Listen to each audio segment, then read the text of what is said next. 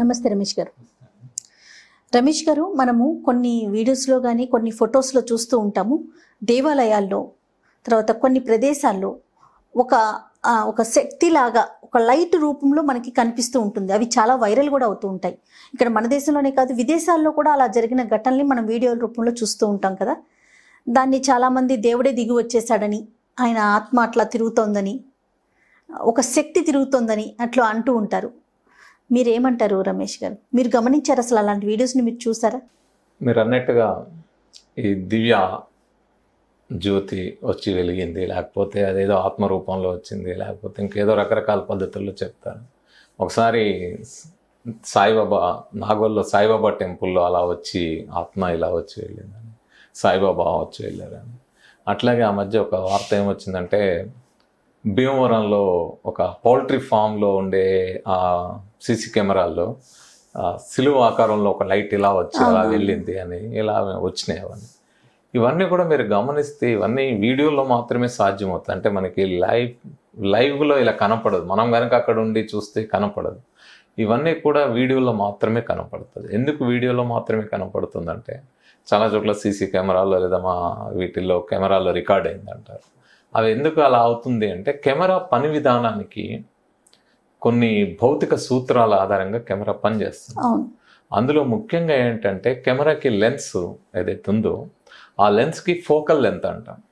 ఈ focal length ఇంత దూరంలో ఉన్నప్పుడు మాత్రమే ఆ ఫోకల్ లెంత్ ఉందో అంత దూరంలో ఉన్నప్పుడు మాత్రమే క్లియర్గా కనపడుతుంది దానికి దగ్గరున్న అవతలున్న అది అవుట్ ఆఫ్ ఫోకస్ అవుతుంది. అందుకే మన వాళ్ళు ఎప్పుడు ఫోకస్ చేస్తున్నాం ఆగండి. ఇప్పుడు మనల్ని కూడా ముందు అంటున్నారు కదా. కొద్దిగా ఆగండి అని ఇలా ఇలా క్లియర్ చేసుకొని మనం కరెక్ట్గా కనపడ్డప్పుడు పెడితేనే మనం కనబడతాం లేకపోతే మసక మసక కనబడతాం సో ఇవి ఇలాంటివి నేను గమనించినప్పుడు చాలా చోట్ల ఇలాంటివి మనం ఎప్పుడు గమనిస్తామంటే మ్యారేజెస్ వీడియోస్ అంటే ఇప్పుడు మ్యారేజెస్ కాదు కానీ మా మనం కొంతకాలం వెనక్కి వెళ్తే ఇప్పటికీ విలేజెస్లో వీడియో కెమెరాలతో వీడియోలు తీసేటప్పుడు అక్కడ లైట్ అవి ఉన్నప్పుడు ఆ పురుగులు కొన్ని వస్తుంటాయి. లేదా కొన్ని కాగితాలు ఇప్పుడు వాళ్ళు. ఇట్లా వేసినప్పుడు అవి వెళ్ళినప్పుడు ఏమవుతుందంటే అవి కనుక కెమెరాకి బాగా దగ్గరకు వచ్చినాయి వాటి మీద ఏదన్నా ఇటువైపు నుంచి లైట్ పడితే అది అవుట్ ఆఫ్ ఫోకస్ అయిపోయి ఆ మనకి వింత వింత ఆకారాలు కనబడతాయి.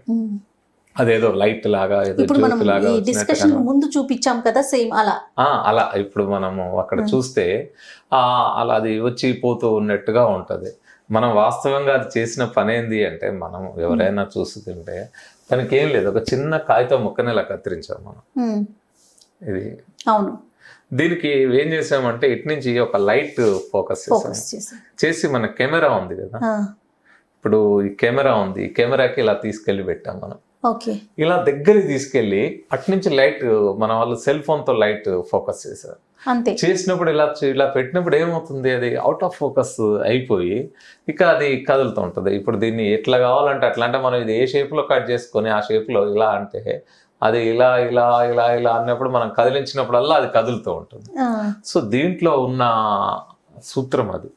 ఇది ఒక అంటే ఆ కెమెరా అందులో ఉండే లెన్స్ దాని పని విధానం ఆధారంగా జరిగిన అవి వాళ్ళు కూడా కొంతమంది నిజాయితీగా అంటారు. మాకు తెలియదండి మేము సీసీ కెమెరాలో రికార్డ్ అయింది మేము వచ్చి చూడగానే ఇలా ఉందని వాళ్ళు కూడా ఒక్కోసారి నమ్ముతారు. అంటే వాళ్ళు ఏదో చీట్ చేయాలని కూడా అనుకోరు.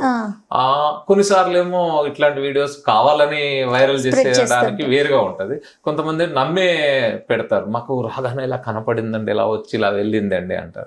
ఇవన్నీ కూడా మనం కనుక సీరియస్గా వాస్తవంగా గమనిస్తే వాటి వెనకాల ఎలా వస్తున్నాయి ఏమిటి అనేది మనకు తెలుస్తుంది సో ఇప్పుడు కూడా మీరు చూస్తే ఆ వీడియోలో సావిత్రిబాయి పూలే ఫోటో నుంచి లైట్ వచ్చినట్టు ఆ లైట్ అటు ఇటు తిరిగినట్టు ఆ లైట్ మీ దగ్గరకు వచ్చినట్టు మళ్ళా ఇటు వచ్చినట్టు అదంతా మనం ఎటు కావాలంటే అటు మనం అంటే ఇప్పుడు. మనం ఆపరేట్ చేసినాం కాబట్టి మనం ఎటు కావాలంటే అటు. తిప్పినాం ఎందుకు సావిత్రిబాయి పూలే జ్యోతిబా పూలే ఇలాంటి విషయాల్లో ముఖ్యంగా మనకి చదువు ముఖ్యంగా మహిళలకి చదువు లేని కాలంలో ఈవెన్ బహుజనులకి చదువు లేని కాలంలో వాళ్ళందరికీ స్కూల్స్ పెట్టి చదువుకుంటేనే మన జీవితాలు వృద్ధిలోకి వస్తాయి వెలుగులోకి వస్తాయి అని చెప్పిన జ్యోతిబా పూలే సావిత్రిబాయి పూలే అయితే అనేక అవమానాలు ఎదుర్కొని. ఆడవాళ్ళకి ఆమె చదువు చెప్పడానికి ముందు స్కూల్ పెడితే ఆమె అనేక అవమానాలు పాలై అయినా సరే నిలదొక్కని చదువు చెప్పింది కాబట్టి ఈరోజు మహిళలందరూ చదువు రంగంలో ముందుకు వస్తున్నారు సో అందుకని వాళ్ళు చదువుల తల్లి ఆమె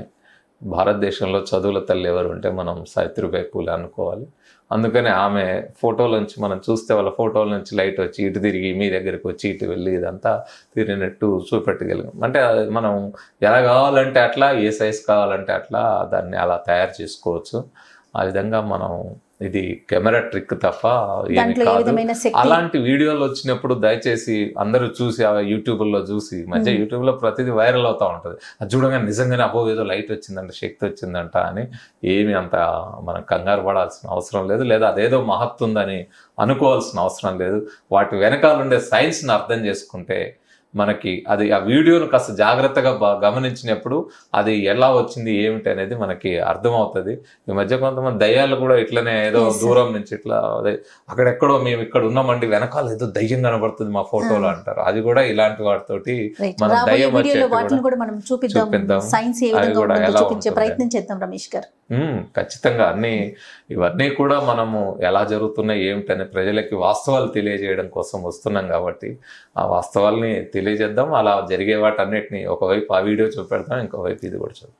Right thank you so much Ramesh garu. నమస్తే ఇక ఈ వీడియో కనుక మీకు నచ్చినట్లయితే లైక్ చేయండి షేర్ చేయండి. మరిన్ని వీడియోస్ కోసం మా ఛానల్ సబ్స్క్రైబ్ చేసుకోండి.